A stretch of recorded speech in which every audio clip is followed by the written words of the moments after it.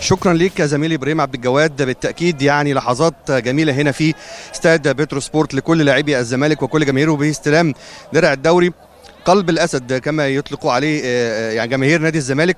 يعني اللي بذل مجهود كبير طوال الموسم. طارق حامد اللي في ضيافة اون تايم سبورتس برحب بيك طبعا يا طارق وأشكرك طبعا على اختصاصنا بهذا اللقاء. مبروك. لحظات سعيدة جدا لنادي الزمالك. ومشوار طويل وعرق كتير. والنهارده بت- بتجني كل ده بالتتويج بدرع الدوري لا ربنا يخليك طبعا في البداية حابب امسي على الكباتن الكبار اللي في الاستوديو. حقيقي ما أعرفش مين اللي موجود بس بمسي عليهم كلهم. إيه، طبعا ما فيش يعني ما فيش لحظة تقدر يعني تخليك مبسوط أكتر من إنك تحقق هدف هدف إيه، هدف مهم بالنسبة لك السنة دي. في ظل كل الظروف اللي إحنا مرينا بيها وكان عندنا في البداية مشاكل إدارية مع تغيير مجالس الإدارات وقدرت إنك تحقق هدف مهم السنة دي اللي هو بطولة الدوري بطولة مهمة في مصر. الحمد لله بحب أشكر ال- الجهاز الفني وأشكر اللعيبة وأشكر كل الناس اللي وأشكر كل الناس اللي اللي ساهمت في في الحدث الكبير ده. طبعا في ما أقدرش أنسى ناس مهمة كانت شاركت في ده منهم آه، سيادة المستشار آه، مرتضى منصور واللواء عماد عبد العزيز اللي جه في المرحلة الثانية وطبعا الرئيس حسين لبيب اللي هو موجود معانا ومجلس إدارته. ناس آه، ما أقدرش يعني ما أقدرش ما أتكلمش عليهم في حدث زي ده. طبعا فرجاني طبعا من الناس المهمة اللي شاركت بصفة أساسية في في الدوري السنة دي. فأحب أشكرهم كلهم يعني.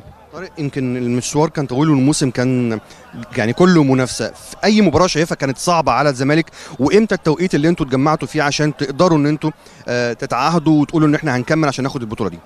لا هو اللي مفيش ماتش في بتلعبه في الدوري سهل خالص. إحنا كلعيبه مقتنعين تماما ان انك عايز تكسب بطولة الدوري لازم لازم تكسب على الأقل يعني لازم تكسب كل ماتشاتك عشان تحقق ال- الهدف المطلوب. لكن في لعيبه كتيرة كبار موجودين في باست- باستمرار في كلام بيننا وبين بعض. ممكن المعسكر بتاع اسكندرية الأخير اللي كان مع مستر كاترون ده متهيألي ده السبب الرئيسي ان إحنا ان إحنا يعني ده السبب الرئيسي ان إحنا حصلنا على بطولة الدوري. طبعا بعد دعم الجماهير طبعا والناس اللي اتكلمتوا كتير في المعسكر ده. 100% ممكن آه، لا مش حكاية كلام بس الشغل نقطة فارقة يعني. الشغل اللي إحنا اشتغلناه في المعسكر كان واضح جدا إن إحنا هنحقق حاجة حاجة مهمة السنة دي. أعتقد لسه الدو... لسه في شغل يعني ما مش نهاية العالم إن إحنا خدنا بطولة آه بطولة كويسة وكل حاجة لكن الأفضل لم يأتي بعد. لسه في كتير إن شاء الله. تعاقب المديرين الفنيين ما هزش الفرقة أو أنتوا ككبار في الفرقة اتعاملتوا مع ده إزاي جوه أوضة اللبس؟ لا أنت في الأول وفي الآخر معظم اللعيبة اللي موجودين في نادي الزمالك كلهم لعيبة لعيبة كبار. بيقدروا يتأقلموا على أي مدير مع أي مدير فني وأي طريقة لعب بتيجي.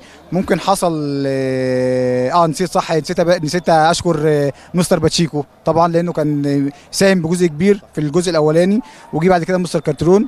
فاللعيبة كلها ما شاء الله لعيبة كبار يقدروا يتأقلموا مع أي حد يعني الحمد لله. قلب الأسد دايما ده هذا يعني الاسم دايما بيطلقوا عليه جماهير الزمالك من قوة طارق حامد وإخلاصه داخل الملعب لا الحمد لله. آخر حاجة بس عايز أقولها إن أنا فعلا بشكر جمهور نادي الزمالك الوفي اللي أنا من غيرهم ولا حاجة وهم فعلا سندي في الحياة. شكرا. شكرا طارق. زميلي إبراهيم عبد الجواد طبعا بنشكر طارق حامد على اختصاصنا لهذا اللقاء وده طبعا